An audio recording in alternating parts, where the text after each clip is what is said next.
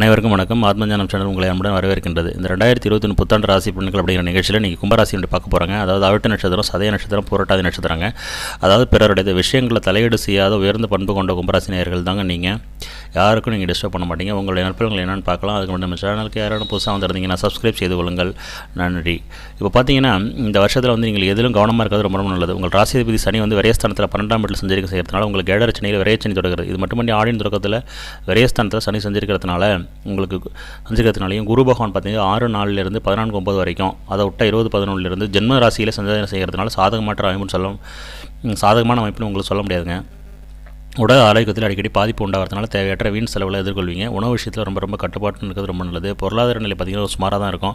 ஆடம்பர செலவில் குறைச்சிங்க சிக்கனத்தை கடைபிடிங்க முதலீடுகள் அதிகமாக இருக்கும் போடும்பொழுது எச்சரிக்கையாக இருங்க. தொழில் வியாபாரத்தில் ரொம்ப கடினமாக கடினப்பட்டு உழைச்சால் மட்டும்தான் உங்களால் சமாளிக்க முடியும். இந்த வயர் இந்த வருடத்தில் பார்த்தீங்கன்னா உங்கள் பெயரில் வந்து தொழில் ரீதியாக முதலீடு செய்வதை தவிர்க்கிறது ரொம்ப ரொம்ப நல்லது. அப்படி செய்தே ஆக வேண்டும் என்ற நிலை இருந்தால் உங்கள் பெயரில் செய்யாமல் குடும்பத்தில் இருக்கிற யார் வேறு யாரோட பெயரையாக செய்யுங்க. வேலையாட்கள் கூட்டாளிகள் இதெல்லாம் அனுசரித்து செல்வது ரொம்ப நல்லது. உத்தியோகத்தில் பார்த்தீங்கன்னா தங்கள் பணிகளில் மட்டும் கவனம் செலுத்துறது ரொம்ப நல்லது வேலைப்பொருள் காரணமாக உடலில் வந்து அசதி தேவையற்ற மனக்கவலை இதெல்லாம் ஏற்படும். சில நேரங்களில் பிற செய்யக்கூடிய தவறுகளுக்கு நீங்கள் பொறுப்பேற்கக்கூடிய சூழ்நிலை ஏற்படும். அதனால் தேவையற்ற இடமாற்றங்களை ட்ரான்ஸ்ஃபர் வந்து அலைச்சல் ஏற்படுத்தினாலும் அதன் மூலம் உங்களுக்கு ஆதாயம் கிடைக்கும். இந்த ஆண்டில் சர்பகிரகமான ராகு நான்கிலையும் கேது பத்திலையும் இருக்கிறதுனால தேவையற்ற அலைச்சல் இருப்பதை அனுபவிக்க ஏற்படும். நீங்கள் வந்து எடுக்கக்கூடிய முயற்சிகளில் எதிர்நீச்சல் போட்டு தான் ஜெயிக்க முடியும். அது மாதிரி பார்த்தீங்கன்னா ஜென்மராசியில் சஞ்சரிக்கக்கூடிய அந்த குருபகவான் வந்து ஏழாம் மட்ட பார்க்கார் அப்படிங்கிறதுனால மனவேதி அடைந்தவர்களுக்கு சில தடைகள் ஏற்பட்டு தான் கல்யாணம் கை கொடுங்க. கணவன் மனைவி விட்டு கொடுத்து செல்வது ரொம்ப நல்லது. பேச்சில் வந்து நிதானத்தை கடைப்பிடிக்கணும் எதிலும் சட்டம் கொஞ்சம் கவனமுடன் இருக்கணும். வீண் விஷயங்களில் வந்து தேவையில்லாமல் தலையிடாதீங்க. தேவையற்ற பண பயணங்களால் உங்களுக்கு அலைச்சல் ஏற்படும். குறிப்பாக உடல் அலைச்சல் தான் ஏற்படும். உடல் விஷயத்தில் தான் கவனமாக இருக்கணும்.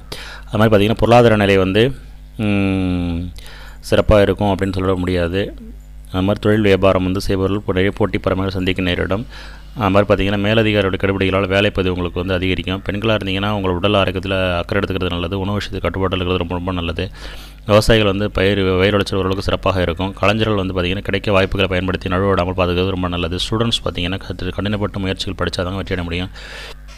உங்களுக்கு அதிர்ஷ்டமான எண் பார்த்திங்கன்னா அஞ்சு ஆறு ஏழு அஞ்சு ஆறு எட்டு. அதிர்ஷ்டமான கிழமை வெள்ளி சனி. அதிர்ஷ்ட திசை வந்து மேற்கு. கல் நீலக்கல் நிறம் வெள்ளை நீளம் தெய்வம் ஐயப்பன். நன்றி வணக்கம்.